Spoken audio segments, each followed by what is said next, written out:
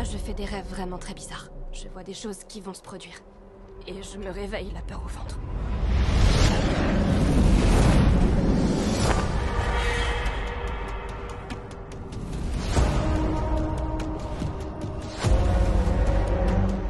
Le désespoir.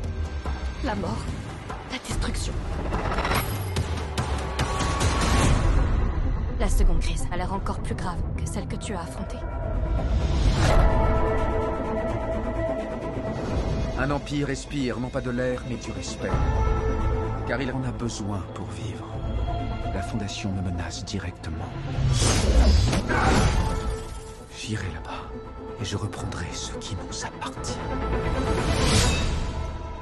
Pour que chacun de nous survive, nous devons les affronter.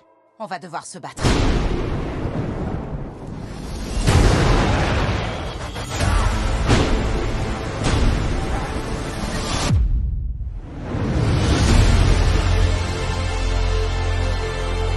Cherchons la paix.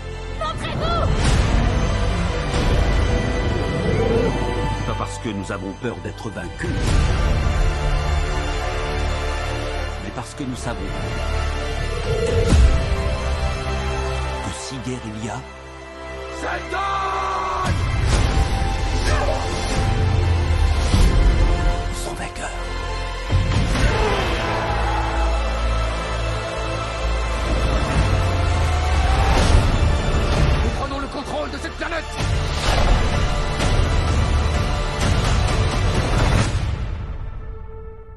Toi et moi devons avoir une conversation.